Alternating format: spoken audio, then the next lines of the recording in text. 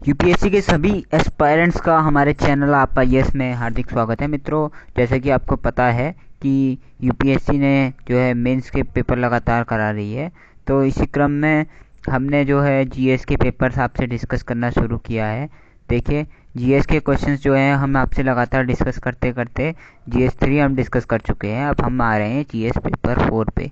इससे पहले की अगर आपने वीडियोस नहीं देखी हुई हैं तो आप ज़रूर जाके देखें, क्योंकि ये आपके लिए इंपॉर्टेंट इसलिए हो जाता है कि आपको ये पता चल सके कि आपके यूपीएससी क्वेश्चन पूछ की पूछ किस तरीके से रही है और किस तरीके से आप उनको टैकल कर सकते हैं। देखिए मित्रों, आज के इस वीडियो में हम बात करने वाले हैं जीएस पेपर फोर की, जो कि है एथिक्स इंटीग्रिटी एंड एप्टीट्यूड मित्रों, इसके लिए आपके लिए जो है, तीन घंटे निर्धारित हैं और निर्धारित अंक हैं अधिकतम ढाई जो मैक्सिमम मार्क्स आपको मिलेंगे। इसके लिए देखिए ये सभी जो इंस्ट्रक्शंस है वो आपके लिए अति महत्वपूर्ण है। ये आपके लिए हम इसलिए डिस्कस कर रहे हैं क्योंकि एग्जामिनेशन हॉल में बहुत से बच्चे ये नहीं पढ़ते हैं जिसकी वजह से उन्हें ये सब आ, मतलब एग्ज़ाम में जो है भुगतना पड़ता है कि आखिर एग्ज़ाम का पैटर्न क्या था और वो क्या करके आ गए। तो देखिए सभी प्रश्न अनिवार्य हैं और इसमें जो है प्रश्न के भाग के सामने उसके अंक दिए हुए हैं। और इसमें क्या किया गया है मित्रों?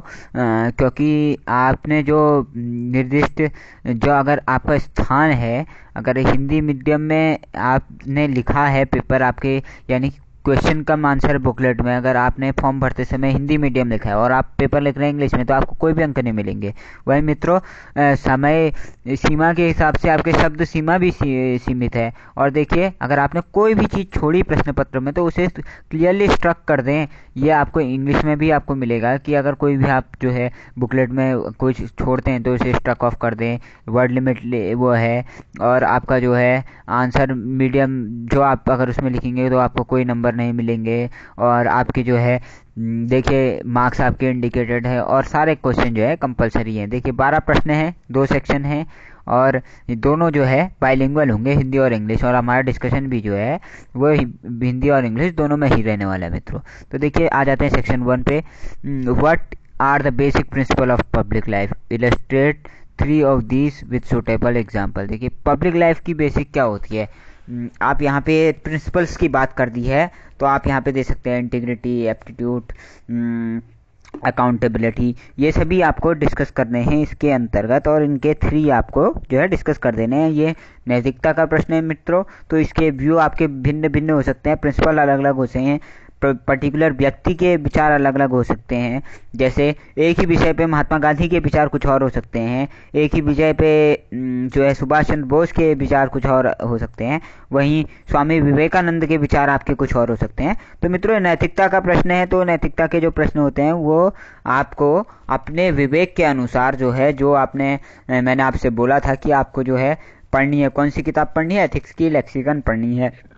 अगर आपने अभी तक ये नहीं देखा कि कौन सी किताब पढ़नी है तो आप प्लेलिस्ट में जाइए और दोबारा से चेक कर दिए कि क्या आपको कौन कौन सी किताब पढ़नी है। तो देखिए, इसके आगे देखते हैं what do you understand by term public servant reflect the expected role of public servant public servant देखिए, जनता का जो सेवक है, उसे पब्लिक सर्वेंट कहते हैं। अब इसको आप लिखेंगे कैसे? The term public servant public servant की डेफिनेशन देखिए, कहना आसान है कि पब्लिक सर्वेंट क्या है। मगर आपको लिखना जब होगा तो इसके लिए आपको ढाई, डेढ़ सौ शब्दों में जब आपको एक पब्लिक सर्वेंट को एक्सप्लेन करना होगा तो मित्रों, ये काफ़ी टफ पड़ जाता है कि किस तरीके से जो है आप इसको एक्सप्लेन करने वाले हैं। तो मित्रों, इसमें आप क्या एक्सप्लेन करेंगे कि the public servant is that which serves the society public servant वो होता है जो कि जनता की सेवा, समाज की सेवा करता है। कैसे? बाय एनी ऑफ़ मीन्स जो कि मतलब किसी भी तरीके से फॉर एग्जांपल वो अपनी सर्विसेज़ देके वो अपनी ए, समय देके किसी भी तरीके से वो अगर जनता की सेवा करता है तो वो पब्लिक सर्वेंट कहलाता है। तो इसमें देखिए एक माइन्यूट सा डिफरेंस है। पब्लिक सर्वेंट और सिविल सर्वेंट में। अब बहुत से बच्चे जो होते हैं वो इसमें सिविल सर्वेंट की डेफिनेशन लिख देंगे। नहीं मित्रों पब्लिक सर्वेंट और सिविल सर्वेंट में जो होता है मित्रों बहुत सा अंतर होता है। क्या अंतर होता है मित्रों? आइए जानते हैं इसके अंतर को। देखिए, ऐसा होता है पब्लिक सर्वेंट क्या होता है? पब्लिक सर्वेंट का काम क्या होता है? देखिए पब्लिक सर्वेंट एक पब्लिक सर्वेंट क्या होता है? पब्लिक सर्वेंट वो हो गया जो भी व्यक्ति जो होता है, जनता के लिए काम कर रहा है और गवर्नमेंट ऑफ़ इंडिया के एक्सचकर से जो होता है, उसका पैसा आता है कंसोलिडेटेड फंड ऑफ़ इंडिया से जो इसका फंड आता है, वो क्या हो गए? Public servant for example anganwadi worker कौन है? Public public servant for example आपके जो स्कूल के प्रधानाचार्य क्या है? वो पब्लिक सर्वेंट है। आपके स्कूल के स्कूल के न से आप देखिए कि जो आपके शिक्षा विभाग के अलावा जितने विभाग हैं, आप चाहे अन्य विभाग ले लें, स्वास्थ्य विभाग ले लें तो डॉक्टर्स क्या हैं? डॉक्टर्स क्या आपके सिविल सर्वेंट्स हैं? जी नहीं, वो पब्लिक सर्वेंट्स हैं। वो जनता की सेवा कर रहे हैं, पैसा गवर्नमेंट ऑफ़ इंडिया के एक्सचेकर से आ रहा है। तो आपको ये इनके कंटेक्स्ट में लिखना है सिविल सर्वेंट से ये आंसर काफ़ी भिन्न हो जाता है। तो आप समझ चुके होंगे कि ये आंसर को आपको सिविल सर्वेंट से हटा के कैसे लिखना है। तो देखिए effective utilisation of public fund is crucial for to meet the development goal critically examine the front utilisation and misutilisation of public fund and implication देखिए, ये जो है एथिक्स इंटीग्रिटी में ये काफ़ी बर्निंग टॉपिक है।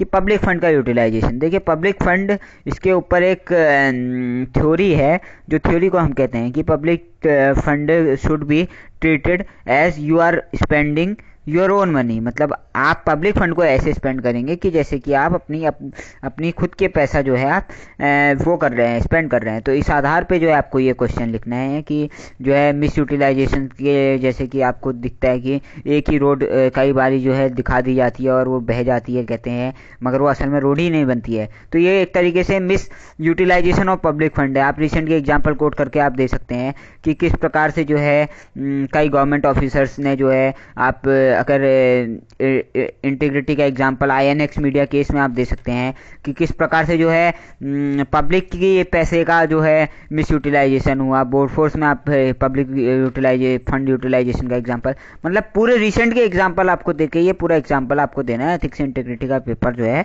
पूरा करंट ओरिएंटेड आ रहा है तो आप उसको, उस आधार पर क्वेश्चन कीजिए। देखिए क्वेश्चन तो आपके छः हैं, मगर बारह क्वेश्चन हैं, मगर बारह में पर्टिकुलर उसमें दो दो टॉपिक्स हैं, और हर एक क्वेश्चन जो है दस दस नंबर का है। तो देखिए, बहुत ही मुश्किल हो जाता है मित्रों, इतने कम समय में इतने ज़्यादा क्वेश्चंस को अटेम्प्ट करना। तो इसमें आपको बहुत जल्दी जल्दी क्वेश्चंस को हल करना होगा। बहुत जल्दी जो आपको समझ में आ रहा है, उस आधार पर आपको क्वेश्चन लिखने होंगे। जैसे कि non performance of duty by public servant form corrupt form of is a form of corruption do you agree give your view और जस्टिफाई योर आंसर देखिए दो क्वेश्चन कह दिए इसने।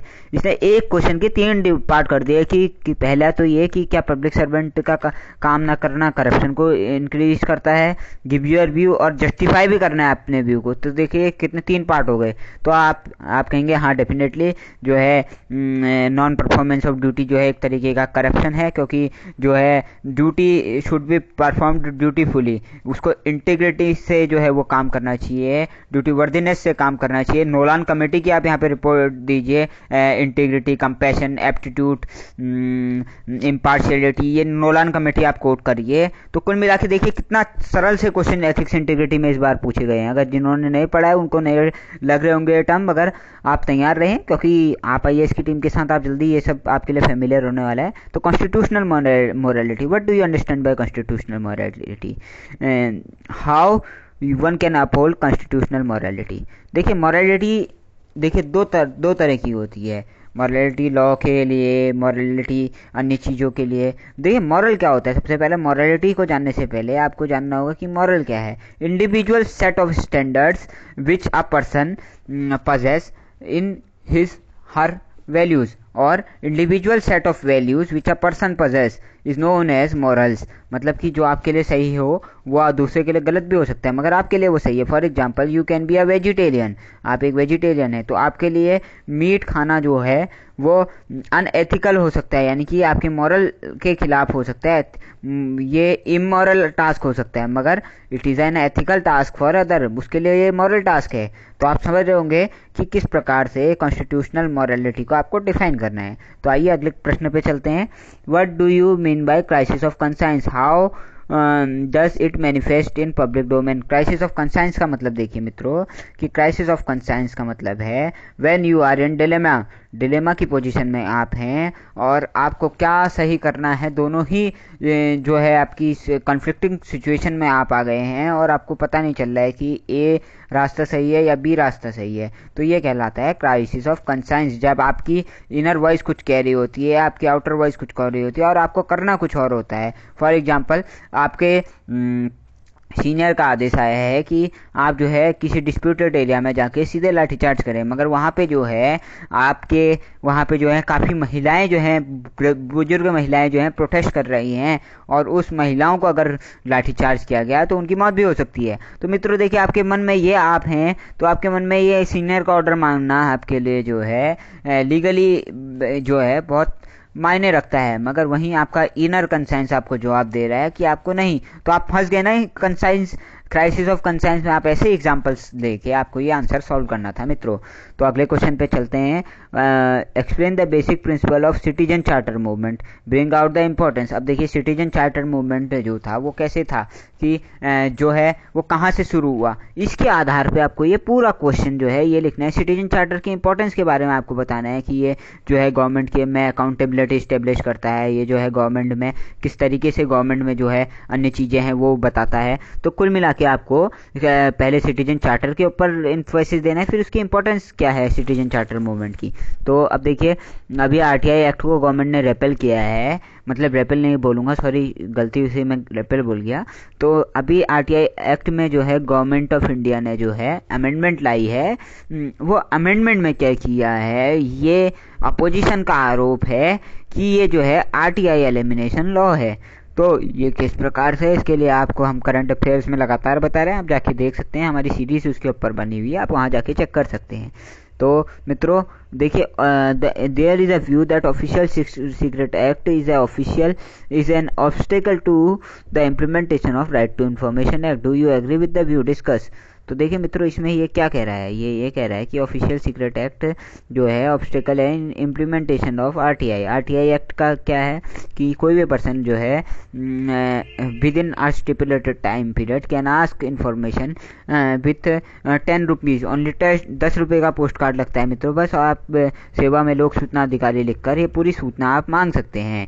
तो क्या ये आरटीआई के इम्प्लीमेंटेशन में एक हर्डल है? आरटीआई एक्ट और ऑफिशियल सीक्रेट एक्ट क्या है? Government can protect any information if it comes under the domain of national security integrity of the nation and compromise the defence etcetera and is of strategic importance तो आपको ये ये दोनों की आपको एक डेफिनेशन दे के आपको ये दिखाना है कि आरटीआई एक्ट क्या है और ऑफिशियल सीक्रेट एक्ट कैसे है और इसका आप किस तरीके से जो है, आप जो है क्या करेंगे मित्रों? आप इसके जो है प्रोज एंड कौन से जो है आप लिखेंगे। आप इसका एक ऐसा डायग्राम बना सकते हैं। यहाँ पे लिखते हैं, यहाँ पे आप ट्रांसपेरेंसी लिख सकते हैं, यहाँ पे आरटीआई लिख सकते हैं, यहाँ पे लिख सकते हैं ऑफिशियल सीक्रेट एक्ट तो देखिए ऑफिशियल सीक्रेट एक्ट यहाँ पे आप पॉइंट लिख दीजिए। तो जितने ज़्यादा आप इनोवेटिव होंगे ना मित्रों, ये देखिए, जितने ज़्यादा आप इनोवेटिव होंगे, जितने ज़्यादा आप इनोवेशन के साथ आप आंसर लिखेंगे, उतने ज़्यादा आपको नंबर मिलेंगे मित्रों। तो देखिए, अगला क्वेश्चन देखते हैं। What do you mean by property in government based on your understanding of term suggest the insuring property in governments property in governance का मतलब क्या होता है मित्रों? प्रॉपर्टी इन गवर्नेंस का मतलब होता है कि government should be accountable for the people तो देखिए, कुल मिला के जो है, आपको प्रॉपर्टी इन गवर्नेंस समझाना है इसमें। उसके बाद ये टर्म की बेटर अंडरस्टैंडिंग से आप मेजर सजेस्ट करने हैं कि गवर्नमेंट में प्रॉपर्टी कैसे लाई जा सकती है। तो आप मुझे लगता है बहुत अच्छे से क्वेश्चन सॉल्व कर लेंगे। Emotional intelligence is ability to make your emotion work for you instead against of you do you agree with the view discuss तो मित्रों, इस क्वेश्चन में आपको क्या करना था? इमोशनल इंटेलिजेंस के ऊपर ध्यान देना था। ई आई का मतलब क्या है? यूजिंग योर इमोशनल इंटेलिजेंटली और इमोशनल क्वेश्चन का मतलब क्या है? इमोशनल क्वेश्चन और इमोशनल इंटेलिजेंस में क्या कुछ, क्या अंतर है? ये आपको हमें कमेंट सेक्शन में कमेंट करके बताना है।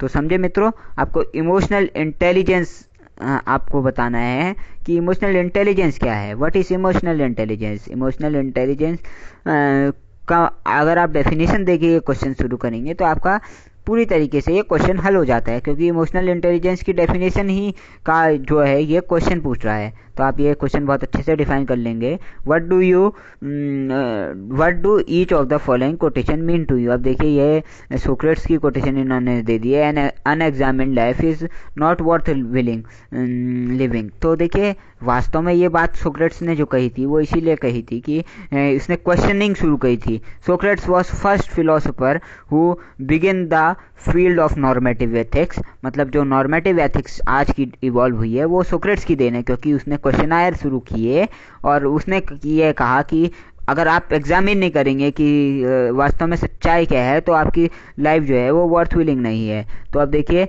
a man is but product of his thought what he thinks he becomes Mahatma Gandhi कहते हैं कि आप जो हैं, अपने विचारों से जो है आप विचारों के प्रोडक्ट हैं, आप जो चाहते हैं वो बन जाते हैं। तो मित्रों, यही हम बार बार कहते हैं कि आप आईएएस बन सकते हैं, आप आईएएस बन सकते हैं, क्योंकि आपको सोचना है कि आप आई बन सकते हैं, तभी तो आप बनेंगे ना, जब तक dream bigger think bigger and be bigger Vivekananda कहते हैं कि make take one idea make that idea one your dream work on that idea तो समझ गए आप? कि आपको आईएएस बनना है तो आपको सोचना है। पहले आप सोच चुके हैं तो आपको उसके वर्क करना है और वर्क करने के बाद आपको रिज़ल्ट ज़रूर मिलेगा। आप आई से आप जुड़े रहिए।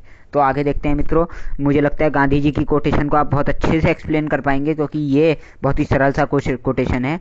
अब देखिए where there is rightness in the heart there is a beauty in character when there is beauty in character there is harmony in home when there is harmony in home there is order in the nation when there is order in the nation there is peace in the world तो basically देखिए UPSC लगातार पिछले दो तीन सालों से जो है एपीजे अब्दुल कलाम के ऊपर जो है फोकस कर रही है। उनकी पिछले बार भी यूपीएससी ने क्वेश्चन पूछा था कि, जिसमें उन्होंने ये कहा था कि जो फैमिली का जो, की ओर से जो सोशलाइजेशन की बात की थी, वही, देखिए, वही यहाँ पे सोशलाइजेशन से रिलेटेड ये टॉपिक है कि सोशलाइजेशन कैसे कि जो प्राइमरी सोशलाइजेशन होता है पर्सन का, वो कहाँ से होता है? वो family basic unit of the socialization of a person is a family अगर फैमिली आपका सोशलाइजेशन होगी तो उसके बाद जो है आपके आगे के जो भी चीज़ें हैं, वो सोशलाइज्ड होंगे। आप अगर सोशलाइजेशन से देखिए, अगर आप सोशलाइजेशन आपका शुरू होता है, वो कहाँ से होता है? The person begins is personality from home जो माँ होती है, वहीं से जो होती है, संस्कार आपके अंदर आते हैं मित्रों। तो आप ये, इनका कहना बिल्कुल सही है कि rightness in the heart and there is a beauty in character तो आप इसको बहुत अच्छे से अपने शब्दों में समझा सकते हैं। आपको इनके आंसर्स चाहिए तो आप आई की टीम लगातार आंसर्स लिख रही है। इनके आंसर्स हम कंपाइल कर रहे हैं। इनको हम जल्दी ही एक मेन्स आंसर डिस्कशन सीरीज़ हम चलाने वाले हैं। उसके आधार पर आप उनमें देख सकते हैं। तो मित्रों, ये सेक्शन बी है। तो सेक्शन बी जो है आपका केस स्टडी से रिलेटेड है। मित्रों, अगर केस स्टडी हम डिस्कस करेंगे, ये सेक्शन थोड़ा सा लेंदी हो जाएगा। तो ये केस स्टडी के लिए हम एक सेपरेट वीडियो बनाने वाले हैं। आप वो पूरी वीडियो आप देखिएगा, क्योंकि बारह क्वेश्चन हैं छः केस स्टडीज़ आपकी रहेंगी। तो इसके साथ मैं आपको बता दूँ कि हमारी एक सीरीज़ चल रही है करंट अफेयर एमसीक्यू डिस्कशन जिसमें हम Business Standard live live Livemint P I B the Hindu Indian Express इनके सभी के इंपॉर्टेंट क्वेश्चन डिस्कस करते हैं। जोग्राफी फॉर सिविल सर्विसेज़ की हम वीडियोज़ लॉन्च कर रहे हैं। आपके लिए हिंदी विशेष संपादकीय विश्लेषण हम ला रहे हैं, जिसमें दैनिक Bhaskar business standard Dainik Bhaskar, Amar Ujala NDTV Hindustan, Jansatta, इन सभी के लिए हम वो ला रहे हैं। हिंदी साहित्य ऑप्शनल की हम सीरीज़ ला रहे हैं। और अब मैं आपको अंत में ये बता दूँ कि आप हमसे जो है हमारे चैनल को लाइक करें शेयर करें सब्सक्राइब करें यूट्यूब पर टाइप करें, आप आईएएस और ये जो बेल आइकन है ना मित्रों, इसको ज़रूर दबा के ऑल नोटिफिकेशन ऑन करें ताकि आपको जो है हमारी सारी अपडेट्स मिल सके। वहीं आपको अगर हमसे फेसबुक में जुड़ना है तो आप आई एस सर्च मार के आप जुड़ सकते हैं। टेलीग्राम पे हमसे जुड़िए ताकि आपको जो भी है डिस्कशन हो रहा है, इनके पीपीटी आपको इजीली अवेलेबल हो। कोई भी आपको हेल्प चाहिए तो आप हमें इस नंबर पे कॉल कर सकते हैं nine nine nine four nine four three six zero आप हमें मेल भी कर सकते हैं, आप I S dot help at the rate G mail dot com तो मित्रों, इसी के साथ जो है आज के इस लेक्चर में इतना ही। आप जो केस स्टडी की वीडियो है, उसको ज़रूर देखिएगा, क्योंकि इससे आपको ये पता चलेगा कि आखिर आपको केस स्टडी अटेम्प्ट कैसे करनी है। धन्यवाद मित्रों।